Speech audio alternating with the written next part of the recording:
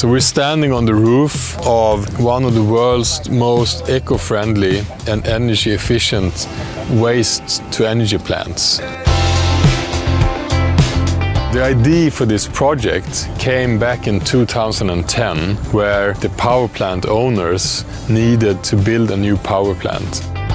They thought that instead of building an ugly, grey, huge box, they wanted to give something back to the, to the city. And the concept was kind of simple and brilliant at the same time. So you take all the machinery and stack it on top of each other. You get a slope that goes down, and bang, you get a ski slope on top of a power plant. One thing we immediately started to do was to add more functionalities. Apart from only a ski slope, which is nice, it's the biggest ski slope in Denmark, we don't have any mountains. We added the idea of the green landscape, the climbing wall, the ski center, which is also a cafe. Our main focus has been uh, creating a new nature on the roof uh, alongside the activities with the skiing and the climbing. So our part was mainly doing the very green rooftop park. I was asked to do the lighting for this uh, ski hill.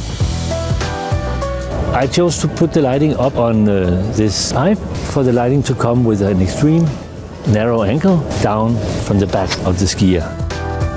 The reason for this is that this would give the opportunity for the skier to look across the ocean, look in the city without getting blinded.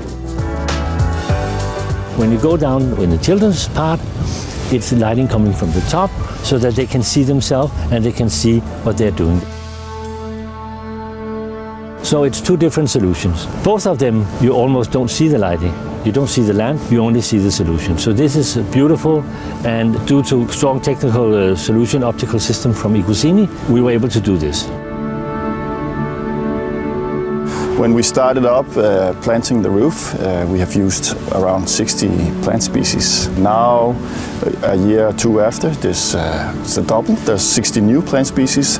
The plants are growing wild. We can see insects coming in, so there's habitats and new ecosystem growing out of this rooftop park uh, created uh, of nothing.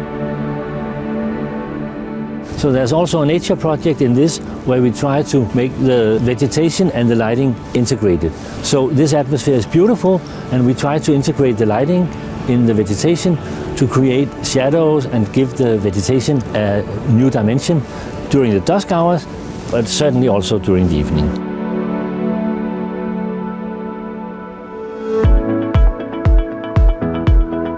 People not only come here for the skiing and for the exercise, they also come to enjoy the view, to enjoy the evening. Even though it is a industrial plant, it has now become part of the Copenhagen uh, uh, outdoor life, which is super. It's a whole new uh, way of approaching how to add value to those kind of uh, buildings. After a few meters hiking up, you're forgetting that you're on top of a power plant. It's like you're in nature more or less. And then you come up here and whoa, and you have the smokestack and you can hear the sound of the machinery. And it's, it's kind of the combination of the industrial and the natural. People are, are really liking it and it's a huge attraction.